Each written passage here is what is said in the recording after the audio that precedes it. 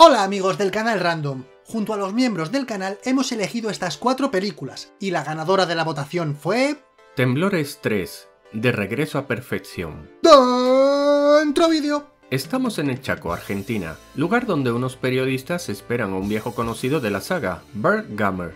Parece que el ejército de Argentina le ha dado un camión y armas para aniquilar a los graboides. Pero, ¿por qué no usan a sus soldados? En México también le dieron armas y explosivos. ¿Por qué siempre tienen que salvar el mundo los norteamericanos? El plan es llamar la atención de los graboides para que perciban su calor y luego eliminarlos. Pero los periodistas huyen. ¡Ojo al cámara! Vemos que está grabando al bigotudo por la espalda, pero al plano siguiente está de frente apoyado en el camión como si se tratase de la barra de un bar. En fin, que el rascasquinas este se pone a disparar y se carga a todos los graboides CGI. Volvemos a la ciudad de perfección, en la cual solamente quedan 5 habitantes. Que por cierto, si aún no viste el errores de temblores, pausa el vídeo y pincha aquí. Y ya que estamos, menudo cambio ha dado el cartel de una película a otra, ¿eh?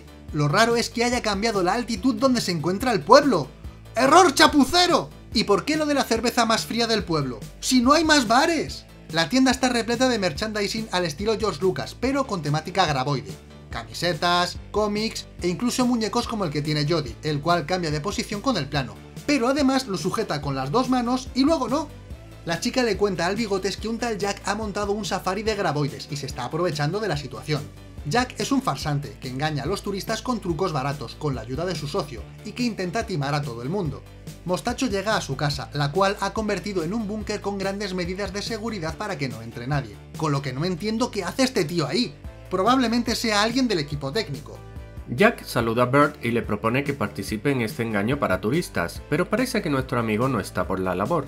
Un chaval se acerca para tomarse una foto con él. Además lleva un zumo mágico, ya que vemos que se ha llenado su bote de zumo, eh, pues porque sí. Luego, Jack vuelve a la carga, con un nuevo grupo de turistas a los que engañar. Mientras tanto, su socio habla con Mindy, y aparecen unos tentáculos que se llevan al pobre desgraciado. En fin, que el graboide se lo zampa. ¡Hala! Muerto. Si prestamos atención podemos ver reflejados en las gafas de este turista unos paneles reflectores para la iluminación. Mindy le dice a Jack que no se mueva y que tire algo para despistar al graboide, así que Jack lanza su llavero y consiguen llegar hasta una roca con el resto de turistas. Tras comprobar el sismógrafo, Don Bigote activa la alarma y llega al pueblo. Allí se reúne con los habitantes y les dice que solamente ha detectado a tres graboides y que al día siguiente irán a cazarlos. A la mañana siguiente, justo cuando están saliendo para cazar, les intercepta el departamento medioambiental. ¡Qué casualidad! En el momento exacto en el que salían del pueblo. Resulta que han declarado a los graboides, ojo, como especie protegida, y quieren capturar a uno vivo. ¿Qué? ¿Cómo? ¿Qué? ¡Hola! ¡Esto es absurdo! Bigote está practicando el tiro, aunque vemos que el dibujo de graboide solo tiene dos tentáculos cuando deberían ser tres. De repente el sismógrafo capta movimiento, pero... ¡No pinta! ¡El sismógrafo no pinta bien! Error tecnológico. ¿El graboide sale del suelo para... bailar la macarena? En fin, que vuelve a enterrarse. ¿Y dónde está el agujero en el suelo? El suelo está igual que antes. Esto es lo que pasa cuando usas CGI a lo cutre. Jack propone un trato a los agentes del gobierno, ayudarles a capturar a un graboide pero metiendo en el equipo a Bert. Pero bueno, vamos a ver si sois capaces de encontrar el error de esta escena. ¡Música de Tetris!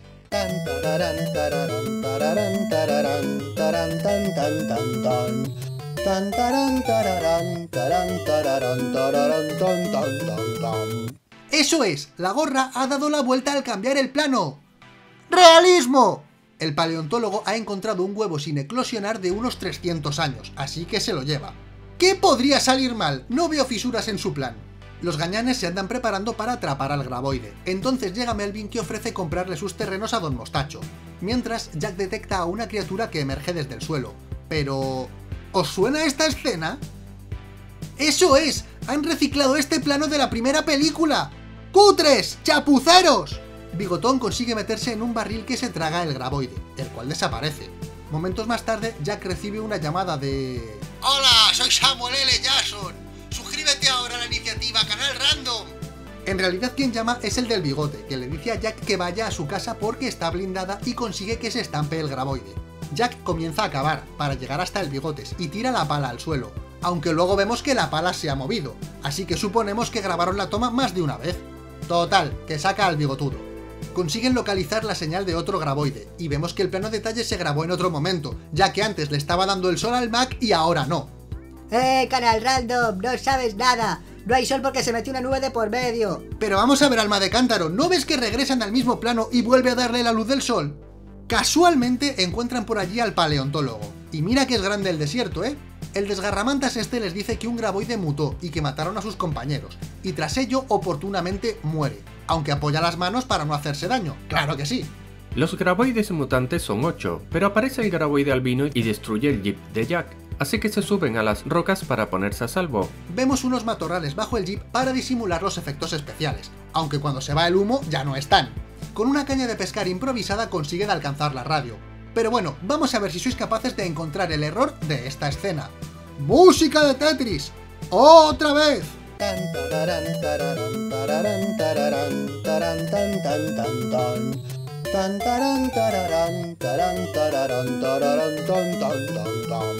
Eso es, en un plano lleva gafas de sol y en otros no.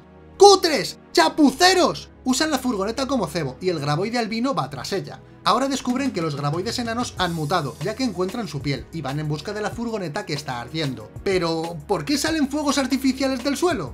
Se topan con un graboide mutado que hace subir el contador de vergüenza ajena volando con flatulencias explosivas. ¿Pero esto qué es? ¿Una película de Noboru Iguchi? En fin, que mata a Miguel. Jody ve un colchón, que habrá puesto el guionista en medio del desierto, claro, y lo usan como barrera para que los graboides no les detecten. Mindy y su madre se ocultan en la tienda, pero el graboide consigue entrar. La chica es muy lista y calienta un trozo de carne durante unos segundos para distraer al bicharraco, y luego se esconden en la cámara frigorífica. Pero hay algo que no me cuadra. Si el trío de perdedores evitó ser detectado con un colchón, ¿por qué la puerta de la tienda no? No debería detectarlas tras ella. Consiguen llegar al búnker, pero un graboide entra por el techo. A ver, a ver, a ver, a ver. Insisto en lo de antes. Un colchón impide que los vean, pero un búnker no. ¿Por qué? No tiene sentido. Total, huyen por una tubería y el del bigote hace estallar el búnker a lo Michael Bay. Mindy ha atrapado a un graboide porque resulta que se ha empachado de tanto comer. Claro que sí, nada forzado, ¿verdad? Jack tiene un plan, subir a la embarcación que está delante de ellos y dirigirla con un remo, pero como es lógico se estrellan. Los destripaterrones estos se esconden dentro de una letrina. ¿Y sabéis qué? Los graboides no los detectan. ¿Por qué en la tienda y en un búnker sí y en una letrina que están todos apretados y que habrá más concentración de calor no? Es un misterio. Muy misterioso. Jack tiene otra idea loca, salir fuera a buscar tubos y combustible para construir un arma. Entonces salen y... ¿Pero no se suponía que la puerta estaba cerrada? ¿Para qué echaron el seguro si no funcionaba? En fin, Jody consigue encerrar a uno de los graboides, y el bicho, al activar su cuesco inflamable, explota. Lo extraño de esta escena es que el tubo de goma que estaba colgando aparece encima del contenedor, pues porque sí. Llega la noche y tras recoger chatarra se refugian en una casa prefabricada, pero uno de los graboides rompe la pared y lo echan fuera con la ayuda de una mesa, la cual tenía un pedazo del panel de la pared encima, y luego no.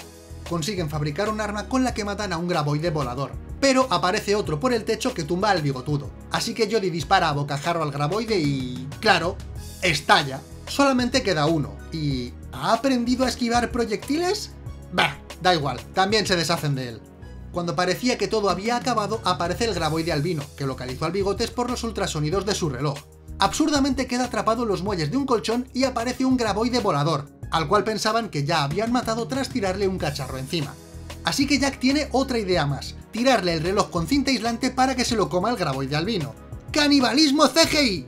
Al final, usan al graboide que atraparon como atracción turística y Mindy y su madre lo venden. Y el bigotes deja a Melvin en una roca con un nuevo amigo.